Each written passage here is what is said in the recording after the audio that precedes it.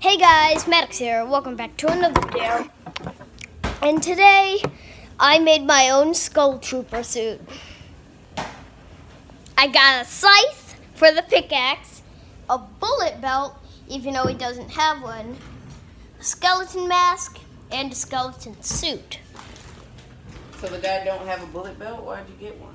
Oh, I just, yeah. I made my own suit, Well, guys. Daddy kind of think that it's because that guy had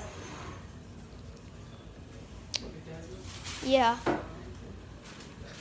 And the thing is that we got these balloons because today's my uncle's birthday.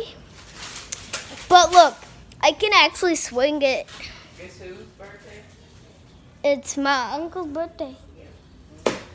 And he's up in heaven. He's up in heaven. Seriously, he passed away. Sucks, right?